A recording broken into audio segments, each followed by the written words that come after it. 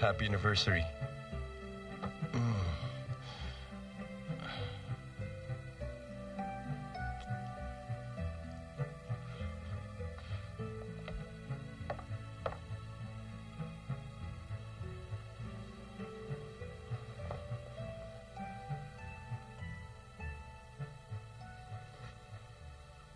Erwin?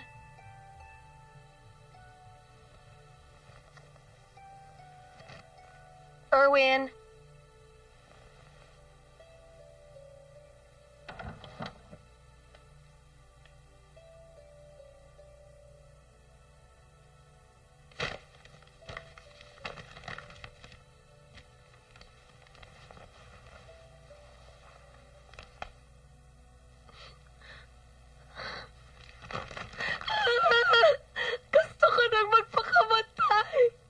Ako rin.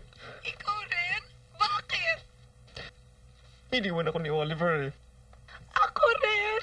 Ikaw din? Iniwan ako ni Erwin. Bakla, pakiramdam ko nalugi ako. Gusto ko nang mamatay. Teka, sandali. Antayin mo ko, sabay tayo. O sige. Saan mo gusto? Siya lang talagang one true love ko. Talaga?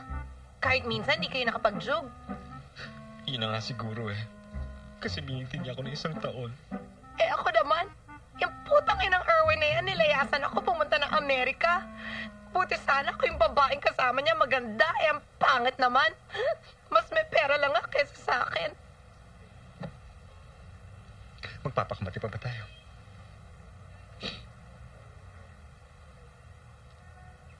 Kung magpakamatay ako, palilibing mo ba ako? Oo naman. Pero, pag ako namatay ha, ayusin mo ako. Ayoko ng pangit.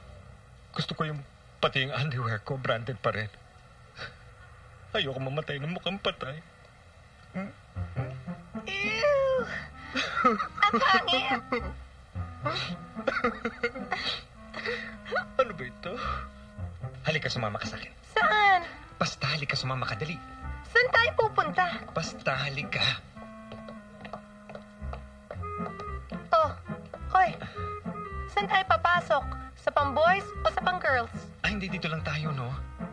Kasi, alam mo, um, hindi pa kasi ako nakakita ng naked na babae maliban sa mami ko. Pahawak naman ang suso mo. Hoy! O para fair, sige. Hawakan mo yung suso ko. Ayan. Hawakan ko yung suso mo. Hoy, Osmond, baka malibugan ka, ah. Ah, sus.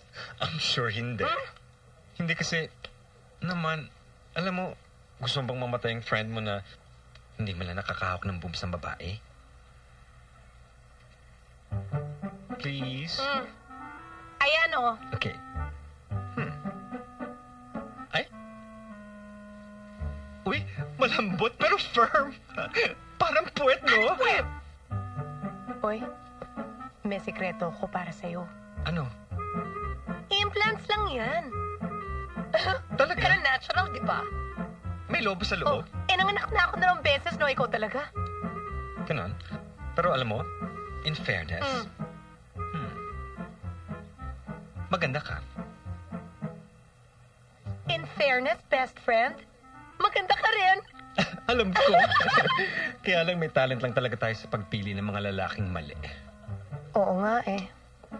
Kaya nga alam mo, pangako ko sa sarili ko magmula ngayon, magko-concentrate na lang ako sa pagpapalaki ng mga anak ko. Ako rin. Magpapaka-writer na lang ako.